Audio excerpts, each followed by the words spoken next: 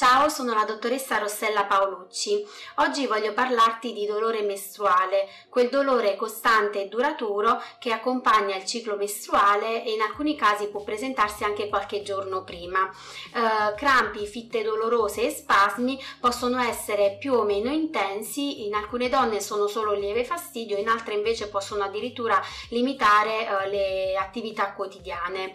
Eh, in questo video voglio consigliarti alcuni rimedi eh, come ad il magnesio, utile anche nella fase premestruale per combattere quella sensazione di uh, stanchezza, irritabilità, gonfiore e ritenzione idrica. In generale uh, l'alimentazione può aiutare, infatti è bene durante il ciclo mestruale evitare il consumo di latticini che possono interferire con l'equilibrio di calcio e di conseguenza con quello di magnesio.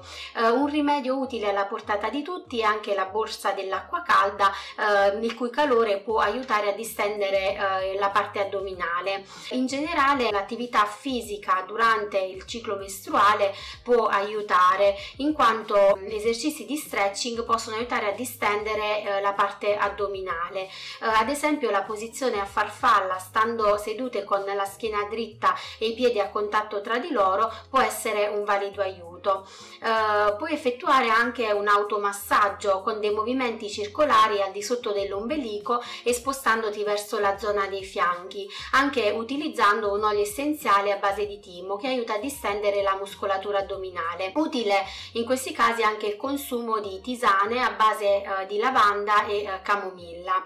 In generale dolori mestruali eh, possono anche verificarsi anche senza eh, ciclo, come nel caso di una gravidanza.